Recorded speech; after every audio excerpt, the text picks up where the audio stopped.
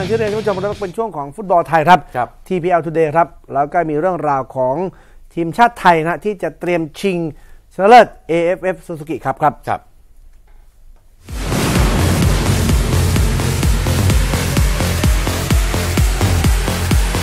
วันนี้ในช่วงของ TPL Today ของเราก็พบกับ คุณยุ้ยชมัยพรเห็นประเสริฐสวัสดีครับ สวัสดีคุณสวัสดีอีคกรับรสวัสดีคุณธีรยุทธ์แล้วก็สวัสดีคุณผู้ชมด้วยค่ะ อะต้องบอกว่ากระแสแรงจริงๆ อย่างที่บอกค่ะ ทั้งในเรื่องของประเด็นการรักษาความปลอดภัยรวมคไปรับถึงบรรดากองเชียร์เอง แล้วก็ในส่วนของตั๋วผี ครับอีกหนึ่งเรื่องเลยค่ะ จริง ๆ ยังแค่วันซ้อมนะคะแฟนๆไปให้กำลังใจกันแล้วนะโอ้คะฟีเวอร์มากฟีเวอร์มาก ใช่แล้วรัค่ะบในช่วงนี้เพราะฉะนั้นเดี๋ยวเรามาติดตามทั้งหมดเชิญในเลยช่วงครับนี้กันเชิญเลยค่ะครับ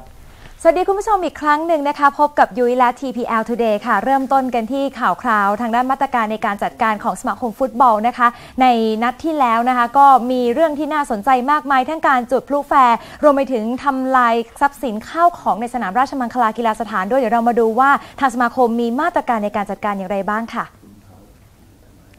โดยสมาคมฟุตบอลแห่งประเทศไทยนะคะก็เตรียมใช้หน่วยทหารที่ชำนาญการปราบจลาจลสำหรับการตรวจสิ่งของต้องห้ามเข้า สนามราชมังคลากีฬาสถานในศึกซูซูกิคัพนัดชิงชนะเลิศแมตช์แรก ที่ทีมชาติไทยจะพบกับมาเลเซียในวันพุธที่ 17 ธันวาคมนี้ โดยก่อนหน้านี้ในรอบรองชนะเลิศทีมชาติไทยชนะฟิลิปปินส์มา 3 ประตูต่อศูนย์เมื่อวันพุธที่ผ่านมา ก็มีกองเชียร์บางกลุ่มที่นำสิ่งของต้องห้ามเข้าสนามอาทิพลุแฟร์รวมทั้งมีการทำลายเก้าอี้จนเสียหายเป็นจำนวนมาก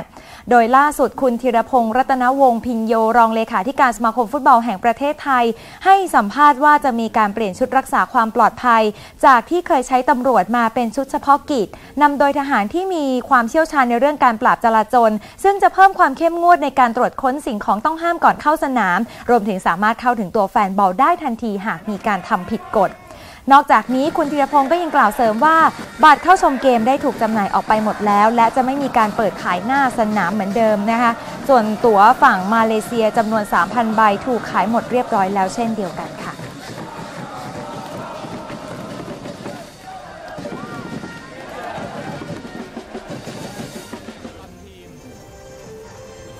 มาดูกันในอีกหนึ่งบทบาทที่โค้ชซิโก้กำลังจะได้รับต่อไปนะคะ โดยโชคทวีพรหมรัตน์ผู้ช่วยผู้ฝึกสอนทีมชาติไทย เชื่อมั่นในศักยภาพของทีมชาติชุด U 23 หลังจบเกมอุ่นเครื่องแพ้ญี่ปุ่นไปศูนย์ประตูต่อ 2 เมื่อวันอังคารที่ผ่านมา พร้อมยืนยันเกียรติศักดิ์เสนาเมืองจะเข้าคุมทีมหลังจบศึกซูซูกิคัพ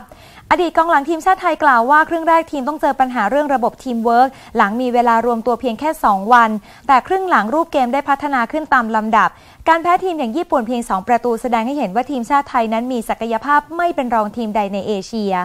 นอกจากนี้โชคทวีก็ยังระบุว่าหลังจบศึกซูซูกิครับโคซิโก้เตรียมเข้ามาดูแลทีมชุดนี้อย่างจริงจังซึ่งจะเป็นการสร้างความต่อเนื่องในการดึงนักเตะเข้าสู่ทีมชาติชุดใหญ่นั่นเองค่ะ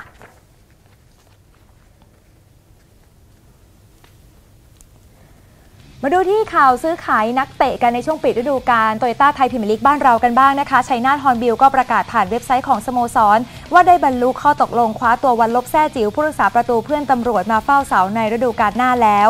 วัลลภให้สัมภาษณ์หลังเซ็นสัญญาว่าการย้ายมาร่วมทีมชัยนาทเป็นอีกเหตุการณ์สำคัญในอาชีพค้าแข้งต้องขอบกาศโดยเป้าหมายของเขาคือการทำผลงานเต็มที่ และอยากช่วยชัยนาทให้ประสบความสำเร็จที่สุด ปัจจุบันชัยนาทฮอนบิลมีผู้รักษาประตูฝีมือดีถึง 3 รายนะคะ ประกอบด้วยกฤษกรเกิดผลชนินแซ่เอีย และวันลบแซ่จิ๋วค่ะ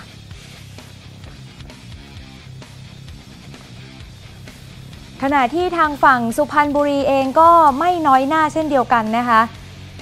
ก็มีการคว้าตัวพานุพงศ์พิจิตธรรมนายทวารมือสองของชนบุรี FC มาเสริมทัพหลังนักเตะได้เดินทางไปฝึกซ้อมกับต้นสังกัดใหม่แล้วเป็นที่เรียบร้อย ขณะเดียวกันสุพรรณบุรีก็ยังได้คว้าตัวบุญเกียรติวงศาแจ่มนายประตูดาวรุ่งวัย 20 ปี จากอาร์มี่ยูเนเต็ดมาเสริมทัพอีกราย โดย 2 นักเตะเตรียมเปิดตัวอย่างเป็นทางการในเร็ววันนี้ ในช่วง pre-season นั้นสุพรรณบุรีก็เสริมทัพไปก่อนหน้านี้ 5 รายแล้วค่ะ ประกอบไปด้วยคาร์เมโลกอนซาเลซ ประทุมชูทอง ทศพลยอดจันทร์นัทพงศ์สมณะ และสุพจน์วงหอย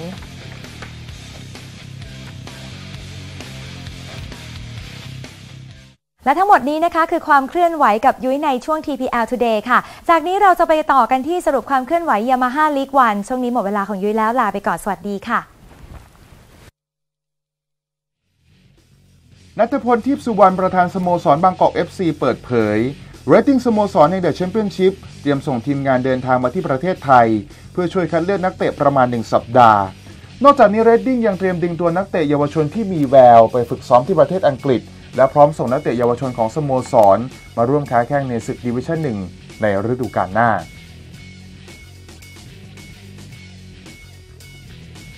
ทรงยศกลิ่นสีสุขเฮดโค้ชคนใหม่ของภูเก็ต FC ระบุ แผนการซ้อมช่วง pre-season จะเริ่มฝึกซ้อมอย่างหนัก เพื่อเรียกความฟิตของนักเตะกลับมา และช่วงหลังปีใหม่ เตรียมเพิ่มโปรแกรมฟิตเนสเข้าไป ส่วนในเดือนนี้ภูเก็ต FC มีโปรแกรมอุ่นเครื่อง 2 แมตช์กับสารวัตร FC จากมาเลเซีย วันที่ 21 ธันวาคม และพบกับสงขลายูไนเต็ดวันที่ 27 ธันวาคม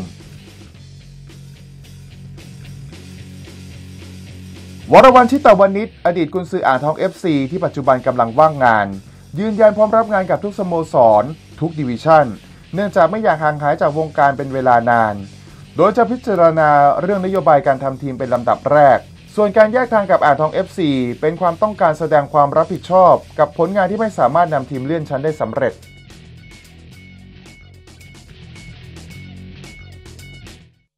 เอาทูเดย์ครับครับ 17 ใช่ไหมครับ นัดแรก วันพุธวันพุธอะที่วันพุธราชมังคลากีฬาสถาน จะเป็นอย่างไรติดตามกันนะครับ ครับ ช่วงหน้าครับ ทีมยกน้ำหนักไทยเนี่ยจะส่งน้องแต้วลุยโอลิมปิกอีกสมัย ครับ ในช่วงของไทย Today ครับ